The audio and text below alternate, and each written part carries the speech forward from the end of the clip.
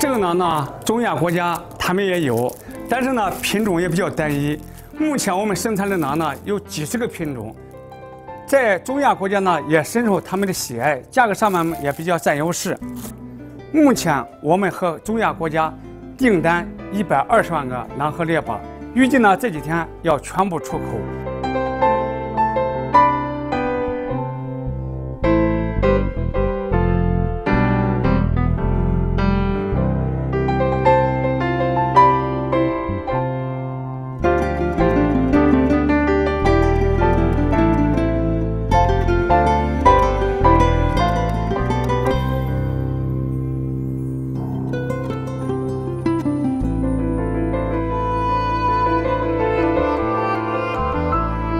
这种通关模式可以很好降低疫情对我们公司出口的影响。现在我们每天大概有七十辆由陕西、河南等地生产的自卸车出口，国内厂家和国外客户对此十分满意，我们承接的业务也只增不减，公司效益也越来越好。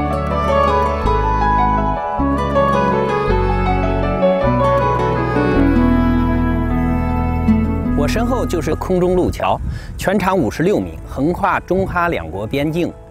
经过桥吊操作，平均七到十分钟就能把跨境电商出口货物调到哈方一侧，并装运卡车发运欧洲。